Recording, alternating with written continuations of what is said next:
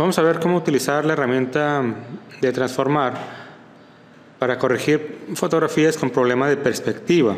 Aunque Photoshop nos da otras herramientas para corregir ese tipo de problemas, la herramienta de transformación es un método manual muy ágil y muy exacto también.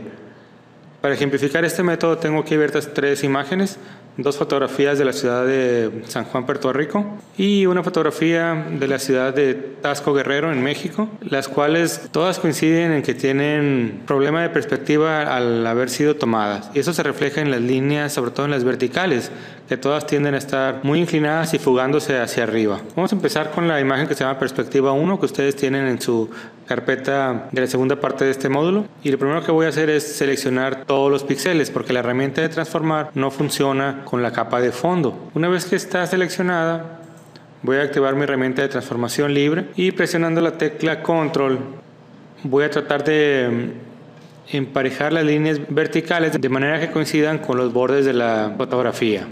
Estoy presionando la tecla Control en PC, en Mac sería la tecla Command y compenso en cada uno de los lados. Muy bien, ya tengo una vista que sensiblemente se ve derecha.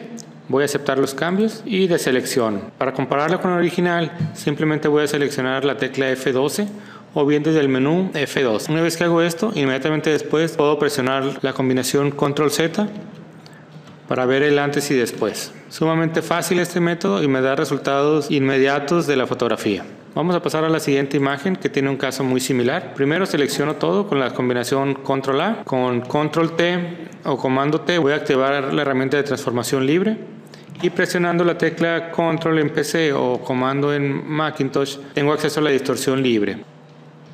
Ahora es posible ayudarnos aún estando haciendo esta operación de transformación con guías para lo cual puedo activar las reglas sin salirme de la operación de transformación y pudiera poner algunas guías verticales solamente para guiarme. Nuevamente presiono la tecla control y enderezo esta fotografía, compenso un poco del lado izquierdo y listo.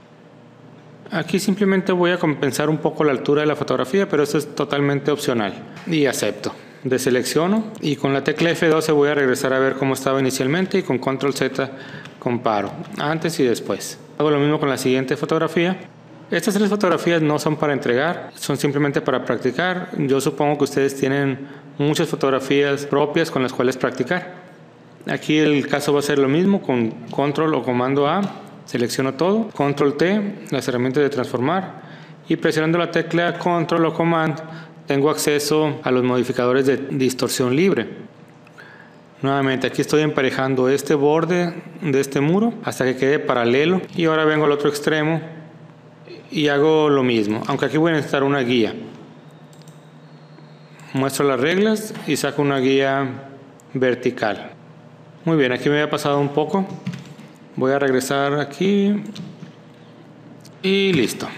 Deselecciono con F12 veo el antes, control Z después. Muy bien, esta herramienta es sumamente rápida, muy flexible y una vez que nos acostumbramos a detectar las líneas que están inclinadas o que se están fugando, sobre todo hacia arriba, la corrección es sumamente rápida. Estas tres fotografías se pudieron haber corregido en menos de un minuto cada una y nos mejoran rápidamente las fotografías. Y tenemos como resultado una fotografía mucho mejor tomada.